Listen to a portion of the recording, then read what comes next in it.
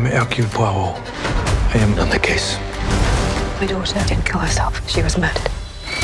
It was Sicko. I will not be leaving such things. No one shall leave this place until I know who done it.